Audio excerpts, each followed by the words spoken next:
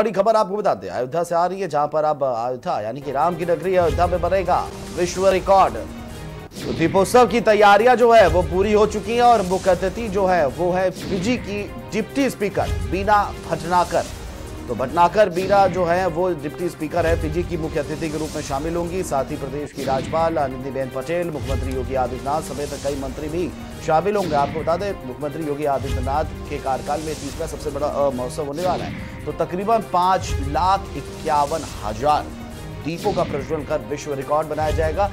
तो प्रदेश में सरकार जो है, वो अयोध्या को एक वर्ल्ड टूरिज़्म की तर्ज पर स्थापित करने की तैयारी में है। और साथ ही साथ रोज़गार की भी बात हो रही है और जिस प्रकार से पाँच लगभग साढ़े पाँच लाख से ज़्यादा के जो दिए जला जा रहे हैं, विश्व रिकॉर्ड कायम किया जा रहा है। विदेशी सैलानियों का इस बार यहाँ आना सबसे ज़्यादा खास माना जा रहा है। अगर आप बात की जाए तो रामलीला का मंचन जो होगा, रामकथा जो होगी नौशैलियों में रामकथा की जाएगी। तो मतलब भगवान राम की नगरी को आज भव्य रूप दिया जाएगा।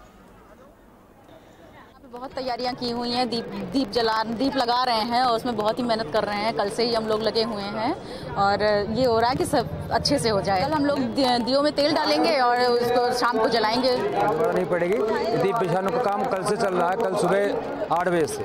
और बच्चे लगे हुए हैं तो अभी तक हमने टारगेट अपना उसमें दस हज़ार कम है हमारे पूरे करने हमको चालीस हज़ार का टारगेट मिला है। जो भी योग उपचार विभाग आई टी यूथ हॉस्टल और भारतीय शिक्षण मंडल के लोग लगे हैं। वहाँ के सभी छात्र छात्राओं ने मिलकर यहाँ पे सहयोग किया है राम दरबार बनाने के लिए। ये गिनीज बुक रिकॉर्ड बना रहे हैं, जो 45 स्क्वायर फिट में बन रहा है ये पूरा।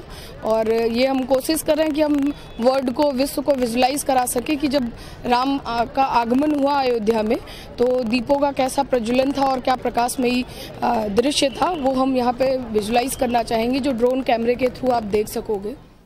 और इसी